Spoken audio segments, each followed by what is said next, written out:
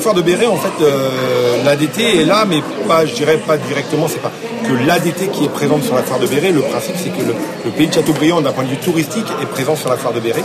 Euh, donc l'ADT est un petit peu, je dirais, le bras ouvrier, celui qui va organiser un petit peu la présence euh, du, tourisme sur le pays de Châteaubriand à la foire de Béret. Donc on est ici présent avec les offices de tourisme, avec l'ensemble de nos adhérents, et on est euh, particulièrement présent aujourd'hui, enfin, pendant la foire de Béret cette année, avec la randonnée.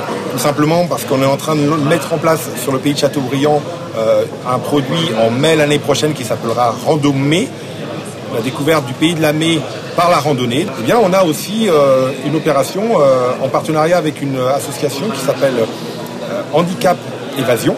Donc handicap évasion, c'est de la randonnée en joëlette, donc une sorte de petite chaise à porteur euh, avec une roue au milieu euh, qui permet aux gens de sortir euh, avec des personnes à mobilité réduite et d'aller leur faire découvrir des endroits qui seraient inaccessibles pour eux.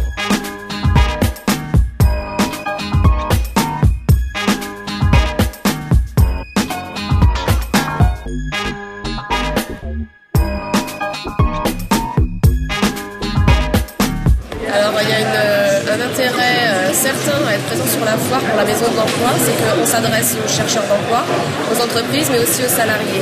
Et en fait, les salariés, euh, pour les capter, en fait, hein, pour pouvoir les informer, la foire, en fait, euh, bah, c'est un lieu idéal parce que sur les quatre jours, on voit passer euh, de nombreux salariés, en fait, qui sont sur tout le pays de Châteaubriand. Donc, du coup, c'est un, moyen d'aller vers eux et puis de les informer, de, de leur préciser qu'on peut les rencontrer en entretien conseil après ou de les renvoyer vers des structures pour tout ce qui est des questions emploi et formation.